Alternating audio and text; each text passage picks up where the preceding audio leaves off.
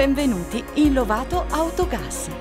Grazie a questo video potrete assistere all'installazione guidata dell'impianto ad iniezione gassosa sequenziale EasyFast. Le tre fasi principali del video vi illustreranno le semplici operazioni da effettuare per poter installare EasyFast. L'inserimento dei componenti del kit nella zona motore, l'allestimento della parte posteriore del veicolo con il serbatoio, l'installazione del software per la taratura della centralina elettronica. Lobato Autogas augura a tutti voi buona visione.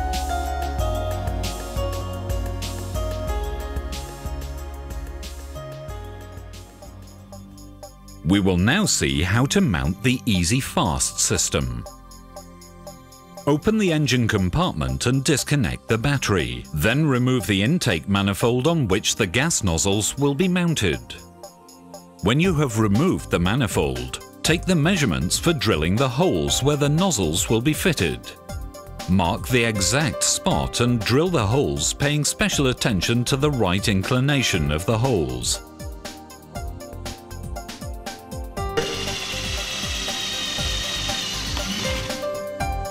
Then make the thread in the holes.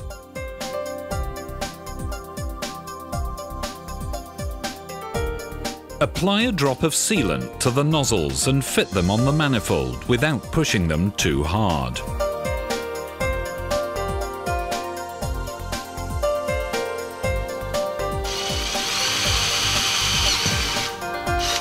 When the nozzles are fitted, you can install the special approved gas hoses, which must be firmly fixed in place with the clamps.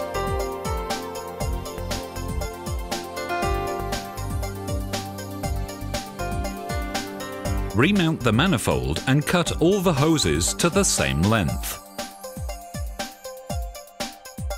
The MAP signal is taken from the butterfly body downstream from the throttle valve, using the same nozzle that is used in the manifold. Depending on the engine capacity and HP, select the calibrated nozzles to mount on the rail. The measurement is given by the letter printed on the nozzle. Once the nozzles are fitted to the injectors, the rail must be connected to the manifold gas hoses.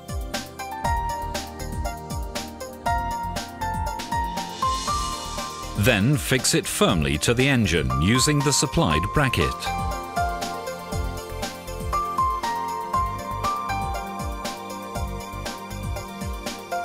To install the RGJ reducer, cut the car cooling system hoses near to the bulkhead that separates the engine compartment from the driver and passenger compartment, blocking the hose with the clamp to prevent any liquid leaks. Prepare the T-couplings on the water hoses in the kit and ensure they are the correct length.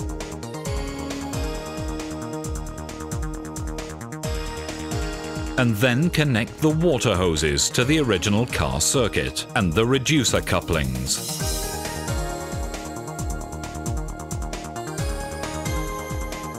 When the water hoses are fixed in place, screw the reducer to the fixing bracket mounted on the bodywork. Install the LPG filter with its sensors between the reducer and the rail, ensuring it is mounted in the direction shown by the arrow.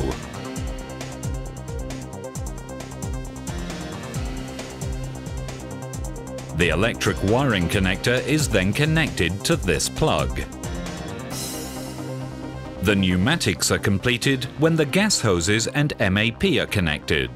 As you can see, the gas passes into the filter from the reducer, where all impurities are filtered out and the pressure and temperature levels are read. After passing through the filter, the gas goes to the injector rail. At the same time, the MAP signal is taken from the butterfly body downstream from the throttle valve. It enters the FSU filter in the opposite direction and the value is read. And it then enters the top of the reducer to offset the outlet pressure, which is regulated by the screw. The copper pipe that comes from the multi-valve passes underneath the car in an area that is protected from the exhaust pipe and is then fixed directly to the reduction unit, where the LPG solenoid valve is incorporated.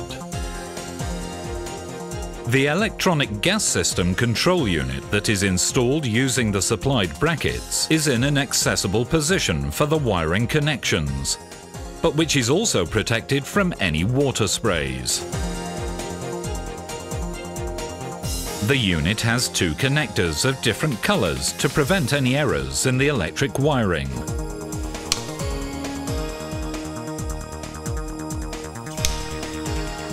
All the components are prepared with their own specific connectors, which are all different from each other to make wiring fast and error-free.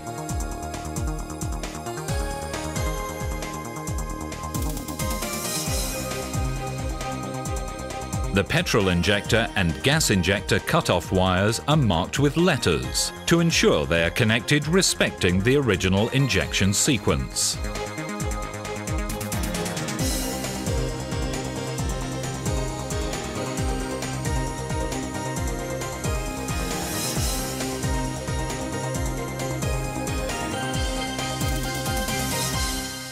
After taking the wires into the driver and passenger compartment, install the petrol and LPG fuel supply switch for switching from one to the other.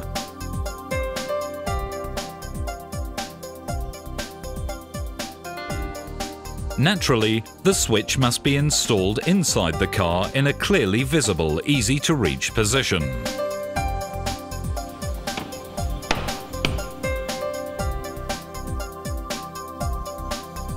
When the electric wiring is complete, you can install the fuse. Now we will see how the rear part of the vehicle is prepared.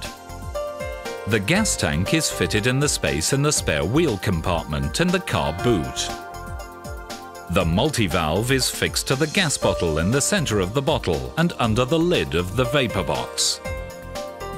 It has a safety solenoid valve and two manual valves. There are two copper pipes connected to the multi-valve. One pipe goes under the car to the engine compartment and feeds gas to the reducer. The other comes from the intake installed inside the fuel flap. The intake must be screwed onto the coupling to ensure the supply.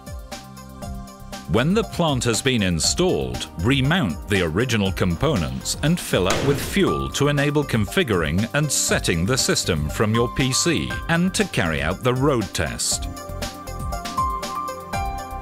Connect a portable PC to the control unit for configuring and setting the system, using the serial cable connected to the diagnosis socket and a hardware key.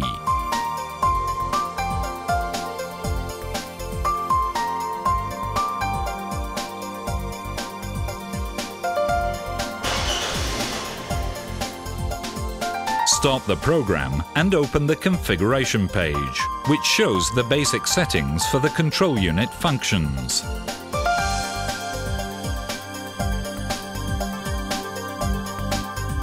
Once the control unit has been configured, begin the auto calibration program which automatically creates the system function mapping.